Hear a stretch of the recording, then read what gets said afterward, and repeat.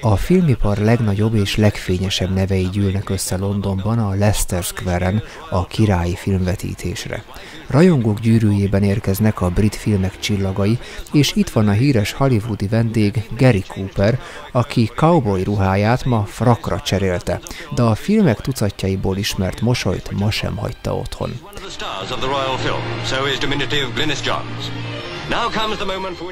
És végre eljött a pillanat, amire a tömeg órák óta várt.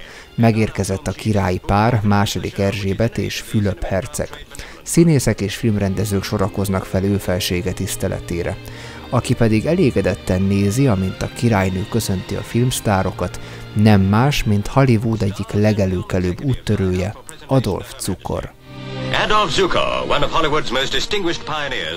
Adolf Cukor, a ricsei árva gyerek, ahogy a Zemplin című lap 1937. január 3-i száma fogalmaz, nagy utat tett meg Ricséről erre a londoni királyi vetítésre. 1888-ban 15 évesen vette kezébe a vándorbotot, elindult szerencsét próbálni a kis bodrokközi faluból, hogy megcsinálja az akkori világ egyik legnagyobb karrierjét.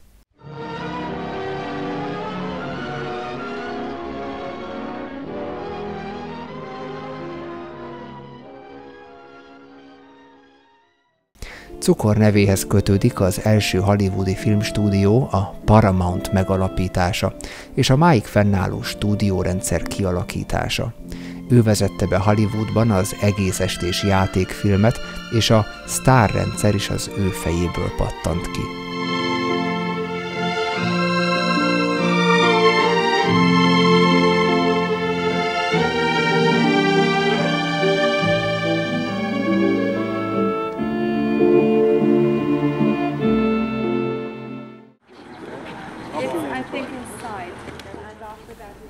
A Cinefest Miskolci Nemzetközi Filmfesztivál hazai és külföldi résztvevői már hagyományosan elzarándokolnak Ricsére, megnézik a szülőházat, felkeresik a zsidó temetőben édesanyja sírját.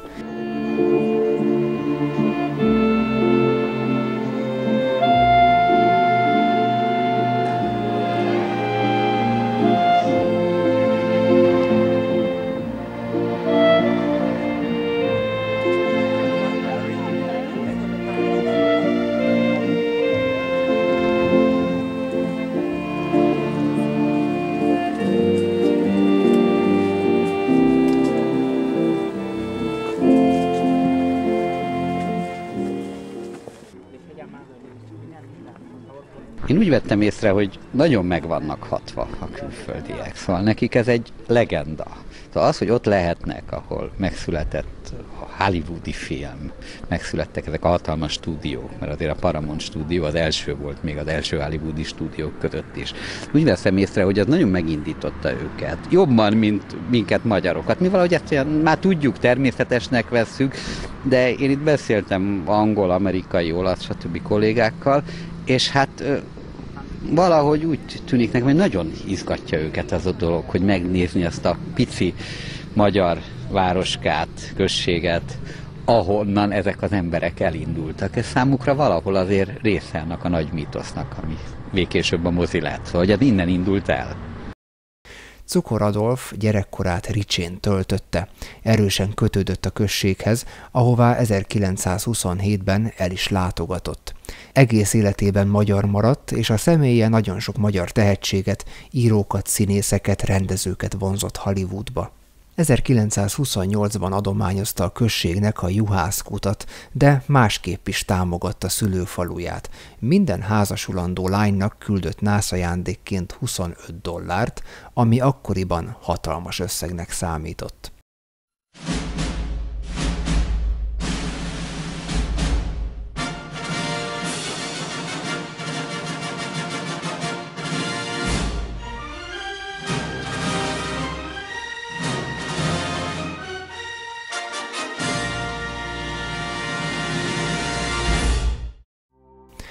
Tolcsva Petőfi út 10 szám. Ez a düledező, elhanyagolt épület minden valószínűség szerint a másik hollywoodi filmmogul William Fox szülőháza. A kétszárnyas épület egyik fele ma önkormányzati tulajdonban áll, míg a másikban, ahol valaha vegyes kereskedés működhetett, idős emberek laknak. William Fox eredeti nevén Fuchs Vilmos összesen 9 hónapot élt Tolcsván, mielőtt szatócsboltot üzemeltető apja úgy döntött, hogy szerencsét próbál Amerikában. Nem számított vagyonosnak, és a rosszul menő üzlet miatt 1879-ben fia születésének évében a kivándorlást választotta. Fuchs Vilmos édesanyjával apja után hajózott az új világba, ahol felnőve 25 évesen megnyitotta első, rövid néma filmeket vetítő mozi árkádját New Yorkban. Többek között Fox nevéhez fűződik a hangos filmgyártás beindítása az amerikai filmiparban, neki köszönhető, hogy a filmhíradók 1925-ben megszólaltak. Ő alapította és az ő nevét viseli a 20th Century Fox Film Studio és az egyik országos amerikai televíziós hálózat, a Fox Network. Soha nem tért vissza szülőföldjére, de az 1920-as években elküldött egy híradó filmest Tolcsvára, és a felvételt rokonainak is megmutatta.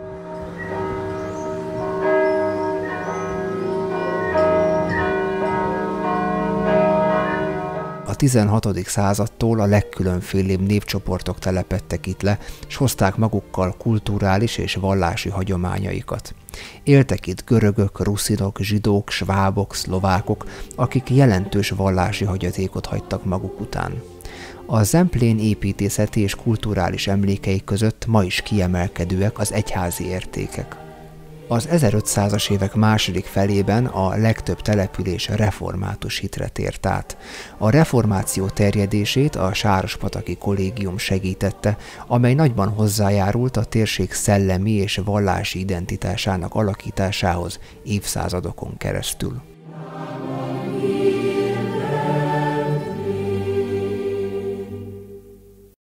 Cukor és Fox zsidó családban született, vagy ahogy azt a korabeli anyakönyvekben jegyezték, Mózes hitűek voltak. Kelet-Magyarországon és főleg az észak-kelet-magyarországi régióban egy késő bevándorlási hullámmal érkeztek a zsidó vallású emberek, Litvániából, Fehér Oroszországból és nagyon sokan Lengyelországból, és leginkább a galíciai területekről, és hozták magukkal ezt a kicsit lengyeles, szlávos hagyományvilágokat, ami aztán a nyelvhasználatukban is jelen volt még ugye beszélték a jiddist, és próbáltak itt ezen a területen, mivel az itt élő arisztokrácia befogadó volt és védelmet biztosított ezeknek a zsidók menekültek számára, mert a lengyel és az ukrán területeken akkor már erőteljes nacionalista mozgalmak voltak, amik kényszerítették ezeket az embereket, hogy ide kerüljenek, ide költözzenek. És ezeken a korona uradalmokon kaptak általában menedékhelyet és letelepedési jogokat, állampolgárságot hosszú ideig még nem, de az itt élő nemesek és arisztokraták pedig szavat szavatolták számukra a biztonságot. Ez jót tett mind a két résznek, mert egyrészt eh, a zsidóság számára egy biztonságos letelepedési helyként szerepelt, másodszorban az uradalmaknak a gazdaság irányításában jelentős szerepet vállaltak a zsidók. Magyarországnak erről a részéről tudni kell, hogy itt eh, a magyar kultúra is rendkívül magas szinten virágzott, ez mind az irodalomban, képzőművészetekben vagy egyéb más művészetekben is eh, jelen van, és óriási hatása van még mind a mai napig is. Tehát akár merre itt megyünk és túróútvonalakat bejárunk, akkor nincs olyan település, ahol ne találkoznánk valamilyen híres embernek a valamikori lakóhelyével, vagy ahol éppen élt, vagy ahol a műveit írta, vagy tudományos munkáit csinálta. Tehát ez a, ez a környék, ez ezekről az emberekről híres. Most ebbe a nagyon magas szellemi millióbe költöztek bele ezek a zsidók, akik nagyon hamar nem is asszimiláltak és nem is emancipálódtak, de a helyüket rendkívül megtalálták ebbe a környezetbe. Volt szerepük, és nagyon békés környezetben éltek itt, tehát ők saját maguk tudták a külvilág szellemiségét is magukba szívni, és az ő általuk sugárzott szellemiség is itt óriási nagy teret nyert, tehát óriási, nagyon jó békességben, tehát egy ilyen szellemi egységben éltek itt az emberek. Tehát itt egy, egy vallászsidó attól függetlenül, hogy egy ortodox vonalat képvisel, tökéletesen tisztában volt a helyi magas színvonalú kulturális viszonyokkal, és ezeket magába szívva Később, amikor elhagyták az országot, nem az üldöztetések miatt hagyták el elsősorban az országot, hanem több hullámban érkeztek, és több hullámban hagyták el is ezt a te, ezeket a területeket. Tehát itt mindig volt egy ilyen átmenet ezen a